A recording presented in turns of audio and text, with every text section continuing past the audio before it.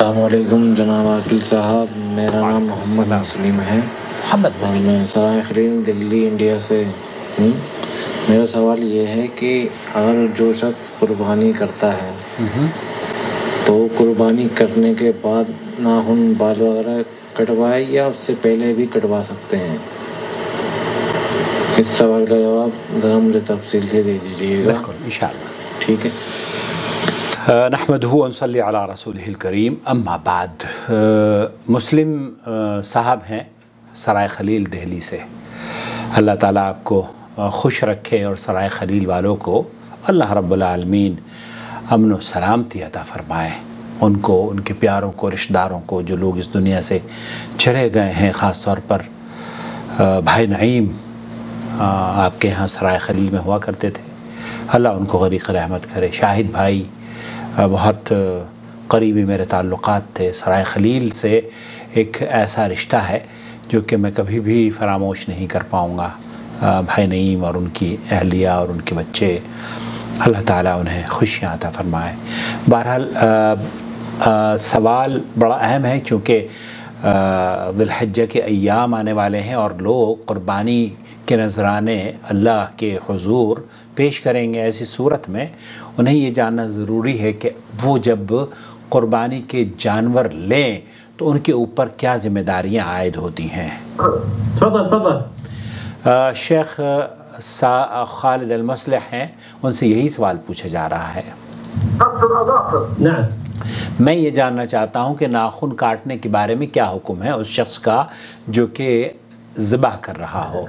الآن في الحجة. آه، هل جائزة بارك الله فيك جزاك الله طيب، طيب. في من في من يقول يقول لنا لا يجوز فعل الأيام هذه فهي المباركه إن شاء الله. يعني لمن أراد أن يضحي. لمن أراد أن يضحي جو اس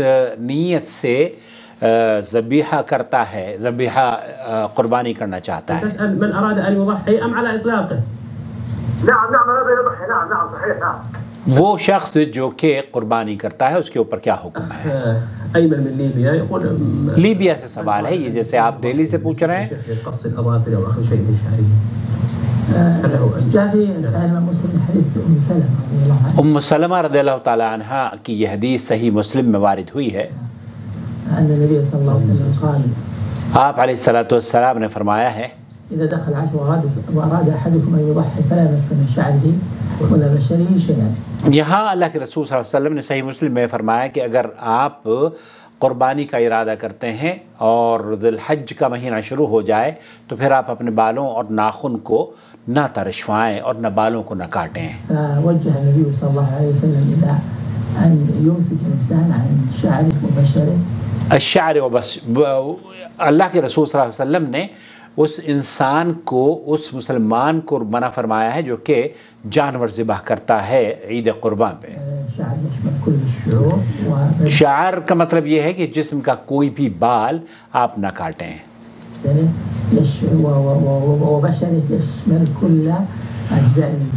اور بشر سے مراد یہ ہے کہ صرف ناخن ہی نہیں بلکہ جلد کے تمام اعضاء، ان کو آپ صحیح سلامت رکھیں۔ من يديه او في فمه او في سائر اجزاء بدنه هذا مشروع لمن اراد ان يضحي. تو یہ مشروع ہے یہ ہی مسنون عمل ہے۔ آپ جب قربانی کر لیں تو قربانی کرنے کے بعد پھر جب آپ ذبح کر لیتے ہیں تو اس ذبح کرنے کے بعد آپ اپنے بالوں کو اور ناخن کو ترشوائیں۔ على وجه الندب في قول الجمهور۔ یہاں اللہ کے رسول صلی اللہ علیہ وسلم نے اس کے لیے پابندی عائد کی ہے جو کہ قربانی کرنا چاہتا ہے۔ یکرہ لہو، یہ کراہیت ہے اس کو ایک آدمی اگر بال کٹوانا اس کے لیے منع ہے کہ وہ بال کٹوائے، لیکن اگر غلطی سے بال کٹوا لیتا ہے تو اس پر کوئی حرج نہیں، پھر وہ اپنی توبہ کو کرنے کے بعد اپنے اس فعل کو جاری رکھے۔ ان النهي هنا نهي كراهه لهذا قال جمهور العلماء ذهب طائفه من اهل العلم الى ان النهي هنا محمول على المنع یہاں بہت سارے اہل علم کا موقف یہ ہے کہ یہ منع ہے اور یہ واجب ہے اور ایک مسلمان پر اس کو رکھنا واجب ہے کہ بال کو نہ ترشوائے۔ لیکن شیخ یہ کہہ رہے ہیں کہ جمہور اہل علم کا موقف یہ ہے کہ وہ رکھے لیکن اگر اس سے بھول چوک ہو جاتی ہے تو اس پر مواخذہ نہیں ہے۔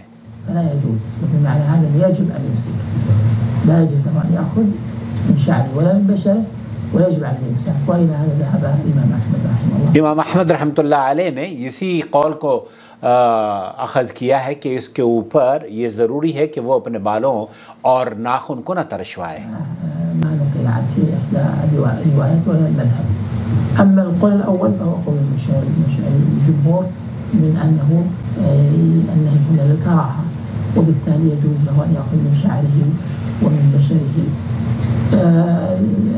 بعض جمہور اہل علم کا موقف یہ ہے کہ اگر وہ چاہے تو ترشوا سکتا ہے کیونکہ یہ واجبات میں سے نہیں ہے لیکن امام احمد ابن حنبل نے اس کو کراہیت اور واجبات کے درجے میں رکھا ہے کہ اگر آپ کر لیتے ہیں تو پھر آپ کو توبہ کرنی چاہیے اور پھر اس دن سے آپ اس کو جاری رکھیں۔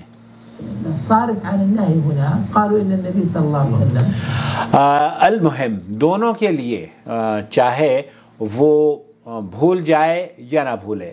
لیکن ایک آدمی جو سوال کر رہا ہے وہ یہ کہ قربانی کرنے والا جانور کے ناخن اور بال ترشوائے گا؟ ذلحجہ ذی الحجہ کے پہلے، پہلی تاریخ سے لے کر قربانی کرنے تک تو ہم اس کو صحیح مسلم کی ام سلمہ کی جو روایت ڈاکٹر خالد المسلح نے بیان فرمائی ہے کہ اس کے اوپر یہ ہے کہ وہ اپنے ناخن اور بالوں کو نہ ترشوائے۔ یہاں ایک چیز کی اور میں وضاحت کر دوں مسلم بھائی کہ یہ صرف ان کے لیے ہے جو کہ آپ جو صاحب آ، اضحیہ ہے صاحب قربانی ہے ان کے لیے نہیں ہے گھر والوں کے لیے نہیں ہے عورتوں کے لیے نہیں ہے بچوں کے لیے نہیں ہے۔ جن کی قربانی ہو رہی ہے وہ اس کام کو کریں۔ باقی سب اس سے مستثنا ہیں۔ مجھے امید ہے کہ آپ یہی جاننا چاہ رہے تھے۔ آپ بھی اگر ہمیں اپنا سوال بھیجنا چاہتے ہو تو وائس میسج ریکارڈ کر کے ہمیں بھیج دیجیے۔ دنیا بھر کے لوگ ہم سے سوال کرتے ہیں اور ہم سعودی عرب کے کبار علماء اور مشاہد کے فتح وجات اردو میں آپ کی خدمت میں لے کر حاضر ہو جاتے ہیں۔ اس چینل کو آپ کی ضرورت ہے اور اس آپ کو اس چینل کی ضرورت ہے دین کو سمجھنے کے لیے۔ لہذا اس ویڈیو کو دیکھنے کے بعد دوسروں کے ساتھ شیئر کریں۔ اور اگر آپ چینل کو سپورٹ کرنا چاہتے ہیں، اس کے جوائن ممبر بن جائیں اور آپ کے ملک میں اگر جوائن ممبرشپ کا بٹن نظر نہیں آتا، تو پیٹرین ویب سائٹ کے ذریعے آپ اس چینل کو سپورٹ کر سکتے ہیں۔ ہمارا فیس بک پیج بھی ہے۔ اس کا نام بھی نو ٹی وی جدہ ہے۔ تو فیس بک پیج پر بھی ہم سے جڑ جائیے۔ جہاں جہاں آپ ہم سے جڑیں گے، رشتہ مضبوط ہوتا چلا جائے گا۔ کیا خیال ہے؟ رشتہ مضبوط ہونا چاہیے کمزور؟ رشتہ تو مضبوط ہوتا ہے۔ اور جب رشتے مضبوط ہوتے ہیں تو پھر اس میں انشاءاللہ تعالی، اللہ تعالیٰ کی رضا بھی شامل ہوتی ہے۔ والسلام علیکم ورحمۃ اللہ وبرکاتہ۔ الحج معلومات۔ فمن فرض فيهن الحج فلا رفث ولا فسوق ولا جدال في الحج. وما تفعلوا من خير يعلمه الله. وتزودوا فإن خير الزاد التقوى. واتقون يا